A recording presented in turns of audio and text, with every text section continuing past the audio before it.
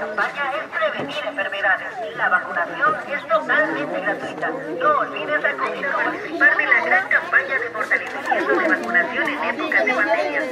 Invitamos a todos los vecinos de esta zona que vengan a vacunarse, la zona Villa Primero de Mayo, que proteger a sus niños menores de 5 años que no han podido hacerlo durante la cuarentena. Hoy tenemos la oportunidad. El municipio está desplegando toda la cantidad de recursos humanos necesarios para poder llegar a todos. Y las niñas entre 10 a 12 años igual traerlos. Por favor, los invitamos que no pierdan esta oportunidad porque hay que proteger, a nuestra niñez y juventud por una, por vejez sana. Se está aplicando para las niñas de 10 a 12 años el DPH, la papiloma humano, que protege contra el cáncer cervicuterino principalmente.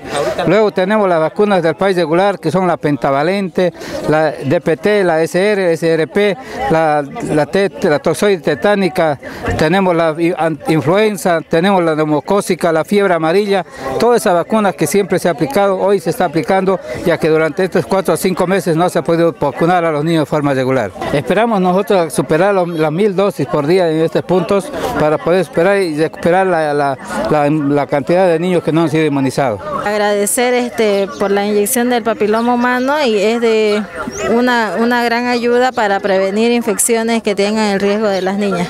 Damos gracias ¿no? por lo que se han ocupado de los niños, que es bueno esta vacuna.